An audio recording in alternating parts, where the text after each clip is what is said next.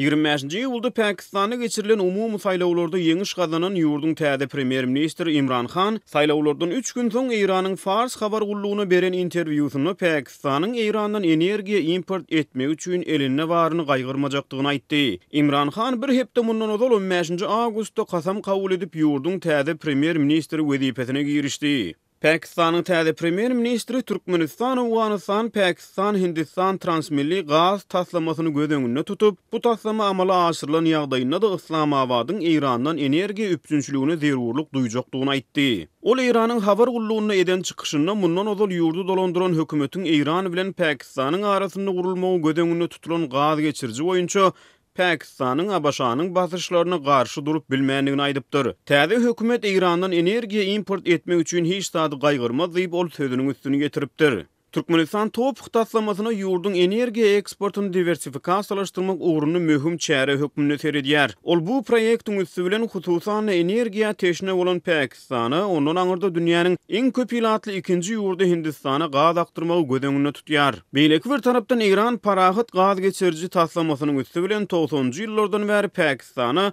ondan aňry Hindistana gaz satmaga isleg bildirip gelýär. Imran Hanyň eden çykyşynyň fonunda Azatlyk Radiosy Pakistanyň täzelikde wezipä girişen premýer-ministriniň sözleriniň Türkmenistanyň bil baglaýan top Musk taslamasyna täsiri boýunça energiýa eksperti Brýus Panniýere ýüzlendi.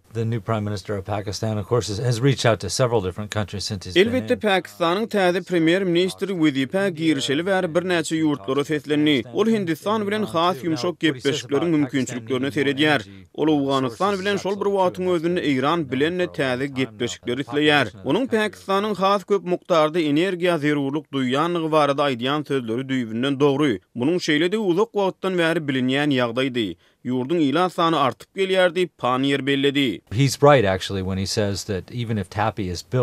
Şonuň üçin TOPH amala aşaýan ýagdaýynda-da Pakistanyň kimdir birinden energiýa üpjünçiligine zerurlygy bolar diýmek bilen, ol mamla. Şeýle-de Eýran Pakistan bilen araçäkleşýär diýip, Paniýer aýtdy. Ol apreliň aýagynda eýranly ýokary derejeli bir energiýa resmisiniň TOPH-yň durmuşa geçirilmek ähtimallygy barada beýan eden şübheli garaýyşlaryny, Eýranyň türkmen gazyny swap ylalaşygy esasynda Pakistana akdyrmaga isleg bildirendigini agzap geçdi. Imran Khan diplomatically has said that even if Imran Khanyň TOPH barada diplomatik dil bilen aýdan sözleri Aslynda onuň bu gaz geçirijini häzirki ýagdaýda Owganystanyň çäginden çekmek bilen bagly bar bolan kynçylyklara göz ýetirýändigini alamatlandyryp biler. Hususan-da, Owganystandaky soňky hepdelerde bolup geçen hadysalar taslamanyň durmuşa geçirilmeginiň mümkin däldigini görkezdi diýip, Panniýer belledi. Meniň pikirimçe, Türkmenistan Imran hanyň bu çykyşyny ýakyndan synlamaly diýip, ekspert sözüne goşdy. Berdimuhamedow could say all he wants that he's gonna ship gas through Pakistan. Eger-de Berdimuhamedow Pakistana hem Toph arkaly,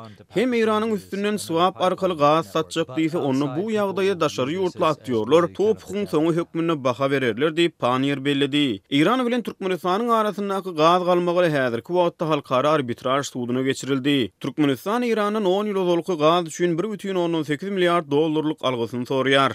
Öz gezeginde Eýran Türkmenistanyň gazynyň hilinden, onuň üpjünçiliginiň birtaraply bes edilmeginden hem-de ýangyjyň bahasynyň birden gymmatladylmagyndan şikaýat edýär. Ýöne şol bir wagtyň özünde Eýran şu dawalaryň dowam edýän wagty türkmen gazyny swap arkaly öz üstünden Pakistana satmagy teklip edýär. Türkmenistan iki müň on altynjy ýylda Orsýeti, iki müň on ýedinji ýylda Eýrany ýitirenden soň, Gaz eksportynda diňe Hytaýa garaşly galdy. Hazar konwensiýasynyň kabul edilmeginden sanlyja gün ozal Reuters habar gullugy Hytaýyň Pakistanyň üstünden TOPH-a goşulmaga isleg bildirýändigini pakistanly bir resmä salgylanyp habar berdi.